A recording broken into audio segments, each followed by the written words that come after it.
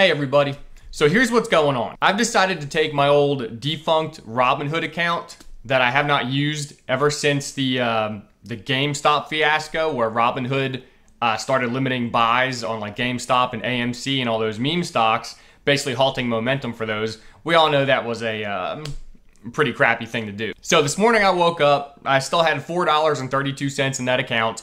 So I added 30 bucks to it so I could uh, make a couple of uh, risky plays. All right, so here's the Robinhood account here, investing 34.32. So you can see I added 30 bucks to it. So we're starting off with $34.32. You can even see for the last three months and even farther than that, I've not made a single move with this because I basically boycotted Robinhood after all that crap happened. However, it's become quite apparent to me that Robinhood still has a lot of fanboys. Um, Robinhood has since IPO'd and now they're a publicly traded company. So they're not going away. So what's the point in continuing to boycott them? So I'm going to take this account with this $34.32 and I'm going to see if I can turn it into $1,000.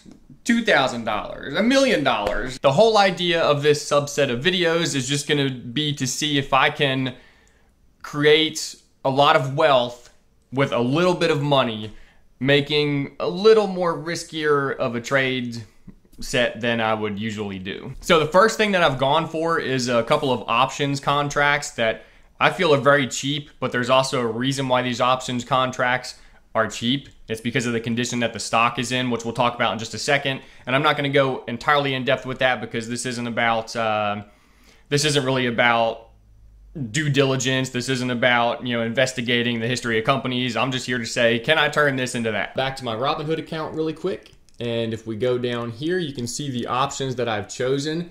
I have chosen uh, Sundial Growers as the uh, company that I bought options in.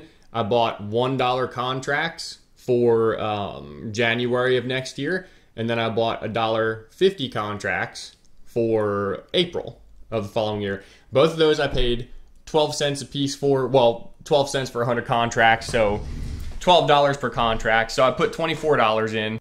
And basically what I'm showing you right here is the, uh, the chart history for sundial growers. Um, I've drawn the top line from full candlesticks, no wicks, down across the top for resistance. And then you can see that there's a very good bit of support for um, sundial growers right around the 65 cent mark. Don't pay attention to this number if you can even see it because uh, it's a little bit off, but right at 65 cents, I'm looking at double bottom if it comes back down and touches 65 again right here. But you can see action is definitely consolidating, getting really tight, and I do expect a big move either up or down. If price action breaks to the downside, once again, that key level I'm looking at is 65 cents. If 65 cents breaks and it does not confirm double bottom, I'm going to be out. But obviously, because I placed my bets on sundial growers to break to the upside, that's the reason why I bought those contracts. And those contracts that only cost 12, you know, 12 bucks a piece could end up being quite lucrative if uh, sundial growers takes another move like they have in the past, where volume pours in and price skyrockets. Plus, the whole sector, the whole cannabis sector, is really beaten down anyway. So I do expect a big move one way or another. But anyway, like I said, this is not about sundial growers. This is about me turning $34.32 or whatever the total was into whatever I can turn it into. Now, for those of you subscribers that uh, tune into this channel regularly, you're probably wondering why am I doing a stock trading uh, video because that's completely unlike anything I ever do. This channel is about health and wellness, but it's also about financial freedom.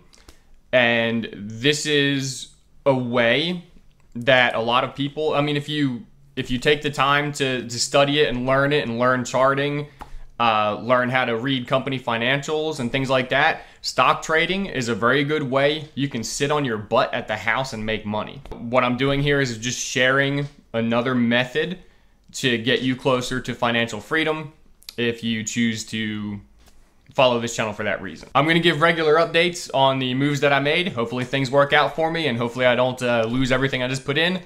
Uh, if so, it was only 24 bucks. So it's not that big a deal, right? See you guys in the next video. Thank you.